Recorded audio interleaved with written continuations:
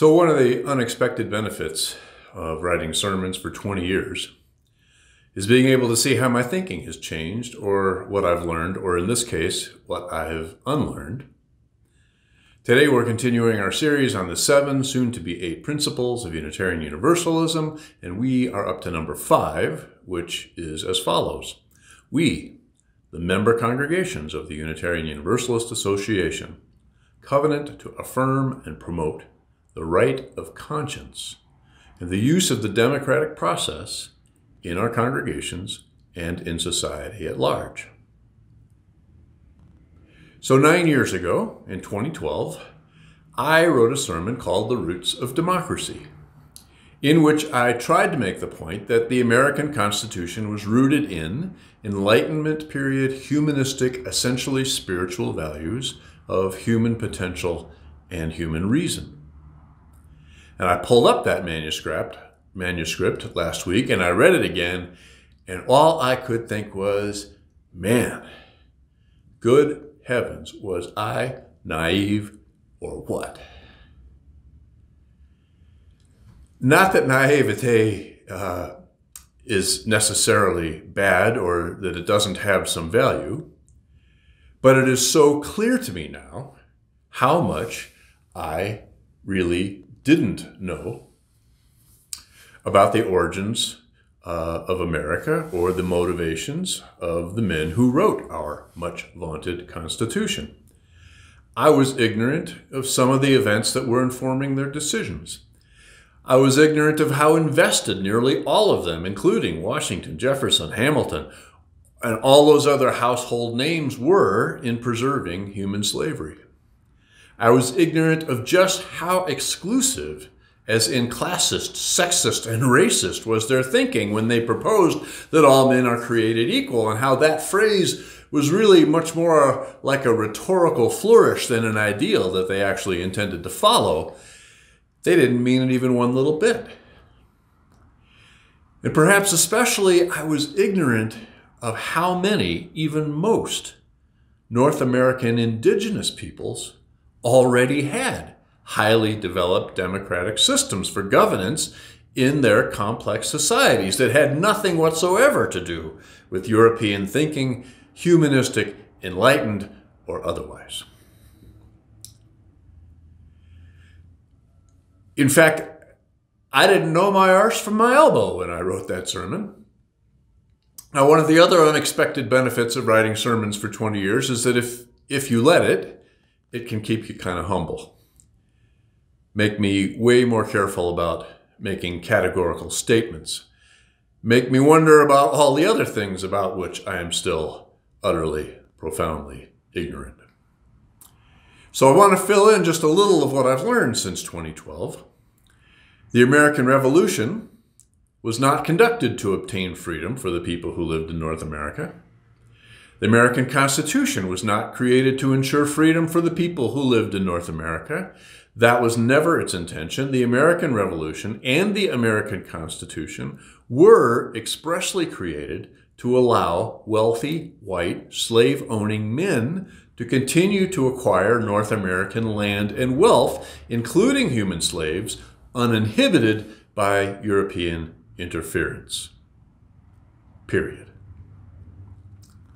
Unlike other revolutions, which more typically arise from common people or from the poor getting fed up with oppression, the American Revolution was a rich man's revolt.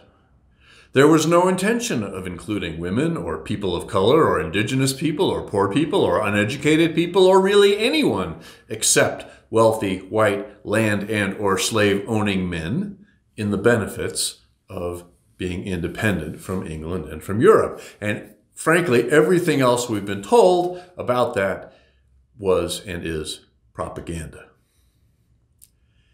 If you'd like to read up on some modern historical scholarship on this, it is readily available. The other thing I mentioned that I was ignorant of was when it comes to democracy was how the indigenous people on this continent were already using it both direct democracy and a more federal approach or federalistic approach, depending on the region and on the issue.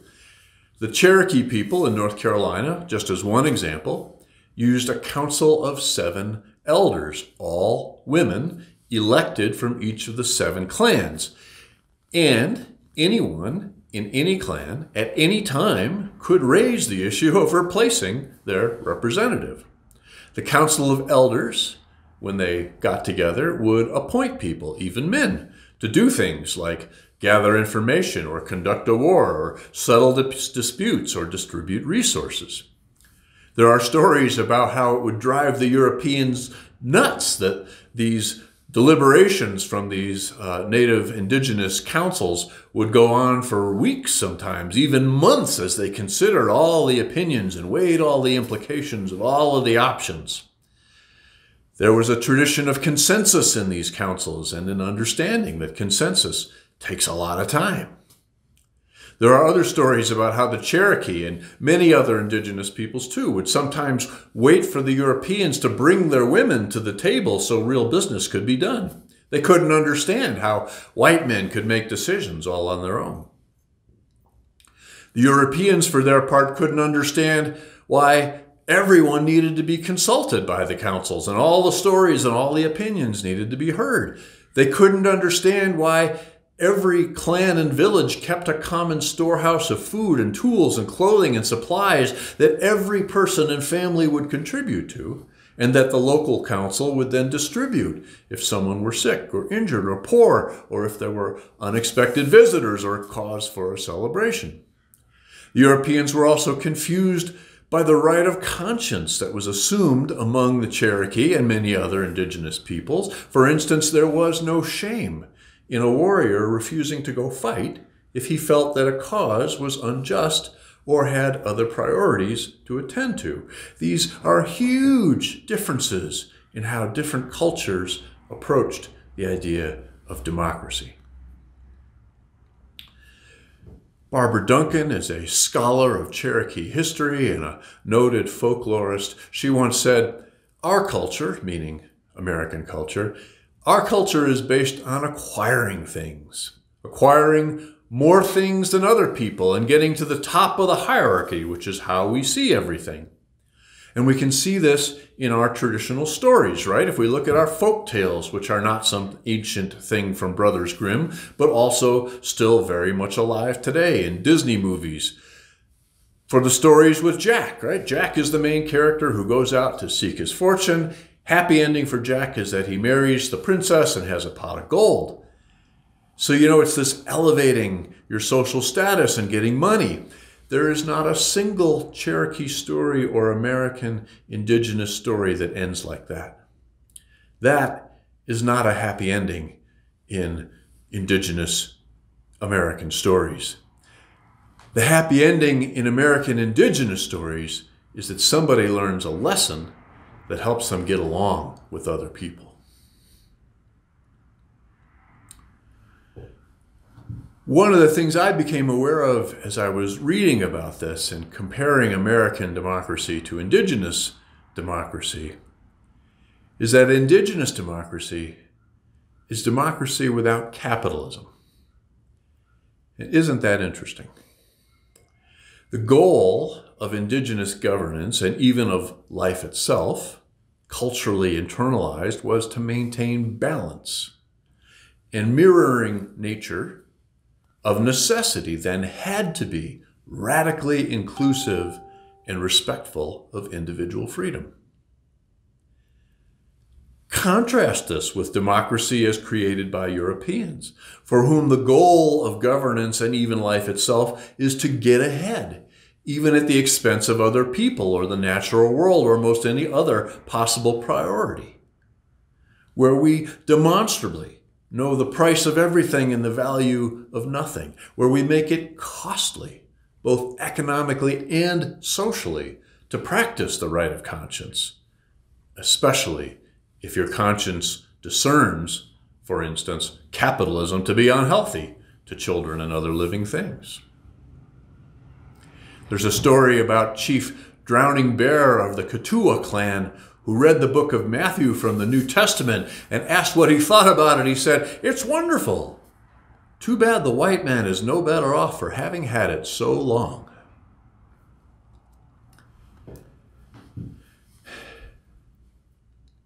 So let's look a little closer at just what a democracy is, because we should be clear about that. There are many definitions, but they fall into essentially two categories.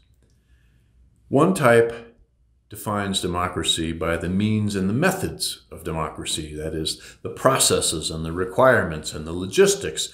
These typically include four points free and fair elections, free and accessible ways to participate in decision making, protection of civil rights, and a rule of law that gets applied to everyone equally. The other type of definition of democracy tends to describe the ends, that is, the outcome, the goals, the freedoms and the benefits, the hoped for outcomes of democracy. My favorite of this type was said by President Franklin Roosevelt in 1941. He said the four freedoms of democracy that should inform all policymaking were freedom of speech, freedom of worship, freedom from want, and freedom from fear. And I'm especially taken with those four freedoms because, in my mind, they beautifully describe the right of conscience that is called out in our fifth principle. The right of conscience was and is a cornerstone of Unitarian Universalist faith. And I'll say those four freedoms again freedom of speech, freedom of worship, freedom from want, and freedom from fear. We at First Unitarian Denver and Unitarian Universalism, we believe in the healing power of honest relationships, of seeing and being seen, of hearing and being heard, of inclusion over exclusion to the fullest extent possible without infringing on the rights of others. Making the circle of our compassion, concern, and community ever wider and ever more loving. For us, the fifth principle, the right of conscience and the democratic process, is both a means and an end. Because we're human. We know we're going to make mistakes. We know our knowledge is never complete. We know that whoever we are, there's always, always room to grow. Upholding the right of conscience and the use of the democratic process optimizes the odds that people will be seen and heard. Optimizes the odds that we can be free from want and fear. Optimizes the odds that we might get it right when it comes to living peacefully, powerfully, lovingly in a diverse human community. So central to the spiritual life of First Unitarian Denver are these ideas that we wrote them pretty much directly into our congregational covenant. And I'm going to close with those words I will listen to you. I will make space for you. I will include you. Together, we will be a community of love, respect, and justice. Together, we will learn about white supremacy culture to create an equitable congregation. Together, we will protect the vulnerable. When we fall out of covenant, we will call each other back in. Amen.